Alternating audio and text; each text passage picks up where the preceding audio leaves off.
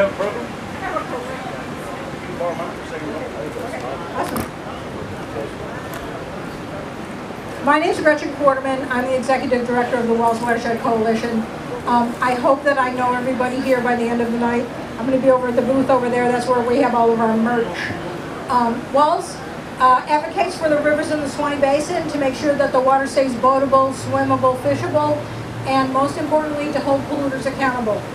Um, we, we're not um, beholden to anybody because we get, because we get our money from, uh, we get, oh, I need it up here, because it's so loud.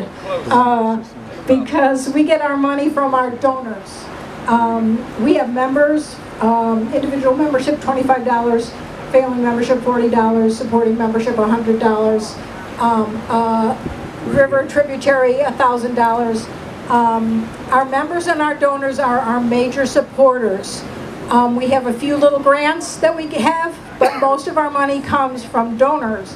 And that means that we can hold polluters like the city of Valdosta, like the city of Tifton, like the city of Ray City, uh, accountable for their sewage spills. It means that we can go up against um, major pipeline companies because we're not taking their money. It means that we can speak out when there are extra um, ugly withdrawals from the aquifer, like from Nestle. So we're um, not beholden, uh, but we need your donations, so that's why we're having this tonight.